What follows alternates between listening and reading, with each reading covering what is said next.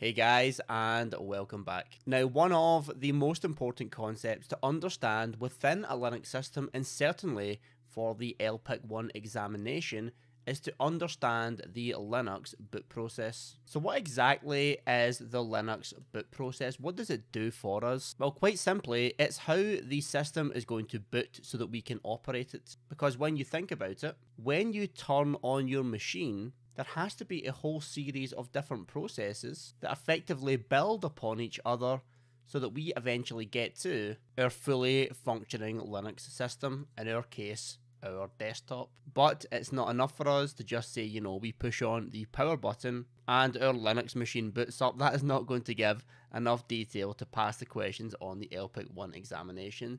So what we're going to have to do within this nugget right here is to walk through every single process step by step and to pick out the relevant details that we have to understand. So how about we walk through it then, shall we?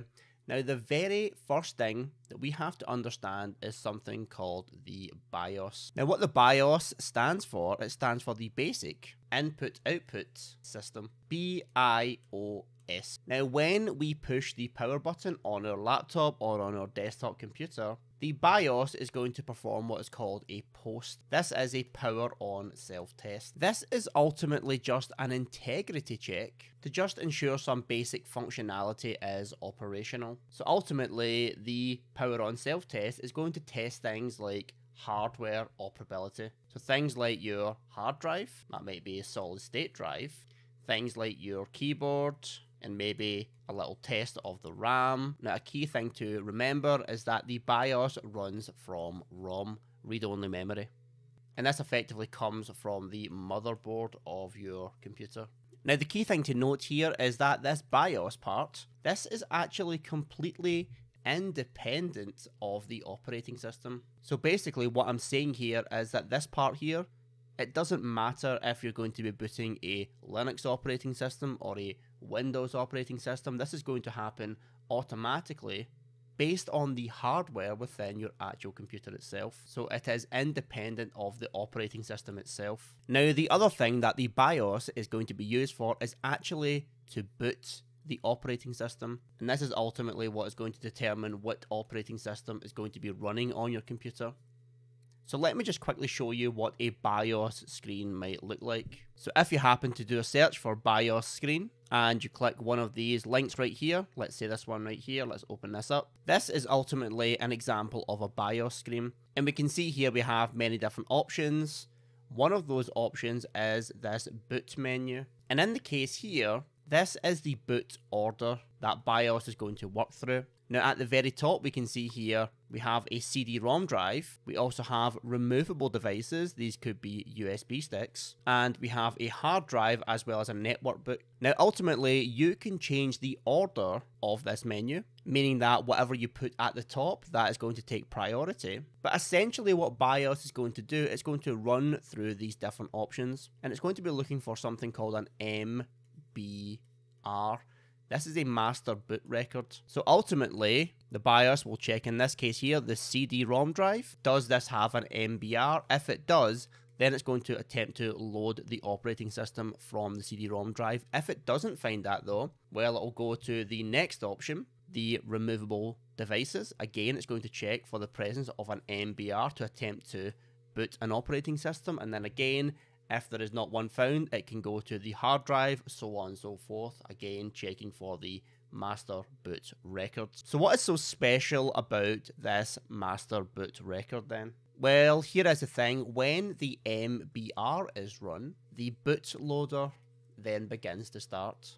Now, it's important to understand for the purposes of the examination that the MBR is located on the very first sector of the drive. And this MBR, it really is quite tiny. The MBR is only 512 bytes.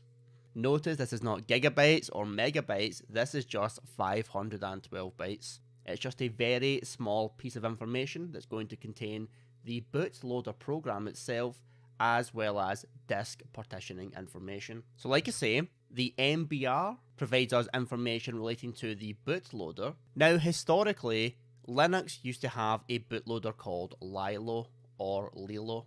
however you prefer to say it. This was effectively known as the Linux loader, which is where the name comes from, Lilo. Now, the other option, which is the more modern option, is one called Grub. This is known as the Grand Unified Bootloader.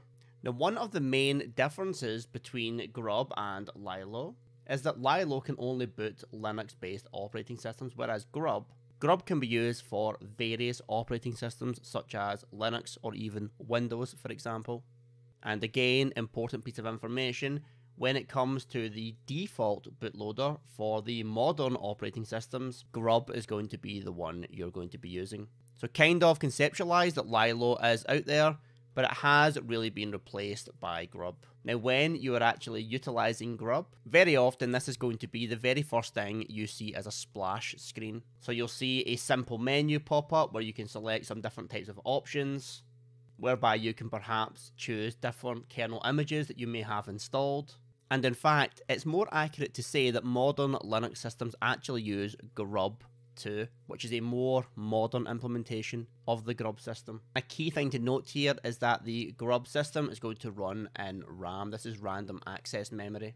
So if you ever happen to have what is called a dual boot system, whereby you have two different operating systems installed, say for example you may have a Windows system, as well as on the same machine maybe a copy of Ubuntu, when the grub menu loads up, you can actually choose which system do you want to boot up. Do you want to boot up the Windows and log into Windows, or do you want to boot up Ubuntu and use Ubuntu?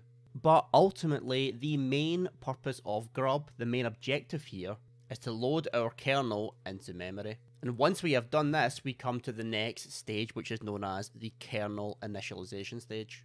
Now, we briefly touched upon what a kernel is within a previous skill within this very course, and we learned that the kernel is basically the core of the operating system. And this really is what makes a Linux device a Linux device. We're using the Linux kernel, and that kernel has total control over your operating system. So once we have reached the kernel initialization stage of the boot process, this is the kernel that was selected by Grub and this is what is specified within the grub.conf file.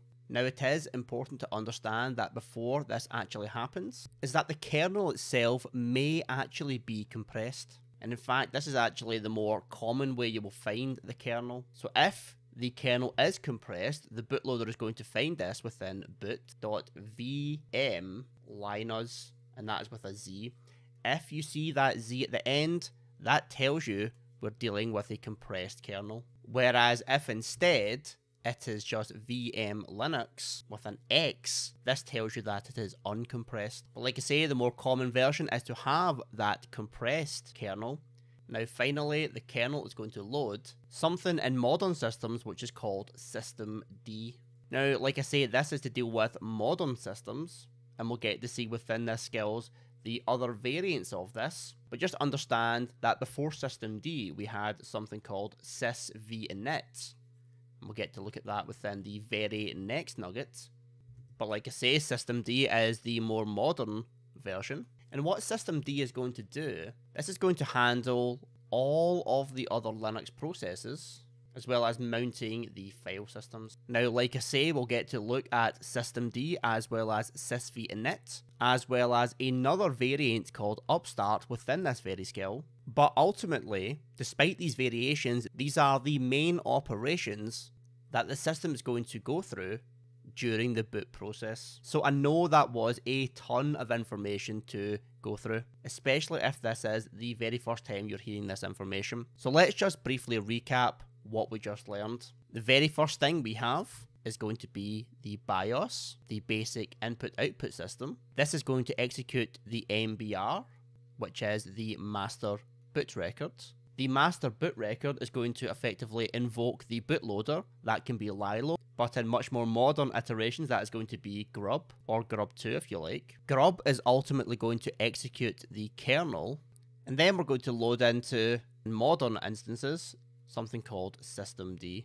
And systemd is the mother of all the Linux processes, and it can handle the starting and stopping of services, whether you're running an Apache web server, you want to start it or you want to stop it. Everything here can be done via systemd. But in order to get from systemd, we have to walk through all of these different types of processes. Now, like I say, systemd is the modern system and service manager for Linux operating systems. But before that, we had something called sysvinit. Now, as it transpires, because we are dealing with the LPIC 1 examination, it's not enough to just say, hey, well, I'm just going to use systemd based systems and forget about the old stuff like sys via init. Wouldn't that make our life much, much easier? But the reality is, in order to pass the examination, we actually have to understand some key details about sysvinit. So what exactly do we have to know about sysvinit? Well, that's what we're going to be talking about in the very next nugget. So I hope this has been informative for you, and I'd like to thank you for viewing.